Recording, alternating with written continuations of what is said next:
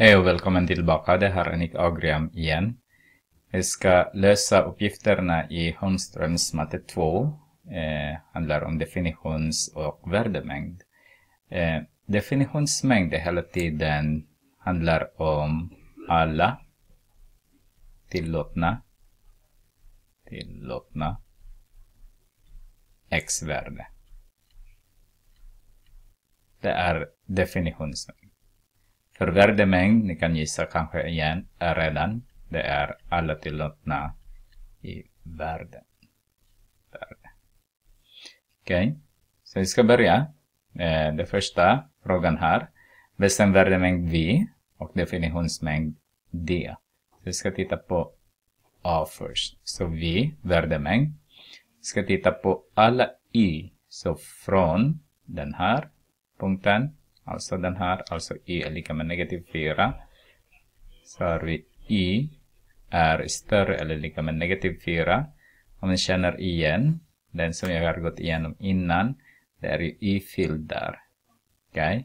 Men mindre, men mindre, eller lika med den högsta där är ju 2.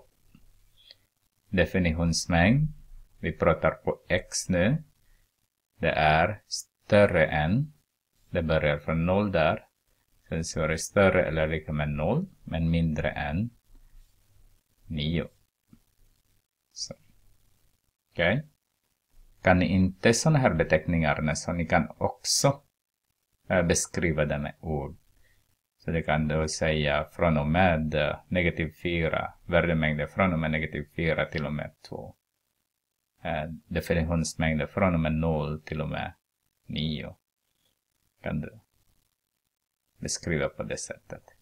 B har du från äh, eh, värdemängd så har vi i, vi pratar om i. Så har vi, här är det 0 och här är det 1000 så det måste vara större eller lika med 0 men mindre eller lika med 1000. Äh, eh, definitionsmängd så har alla x så från 0 fortfarande till 5 timmar. Så har vi x.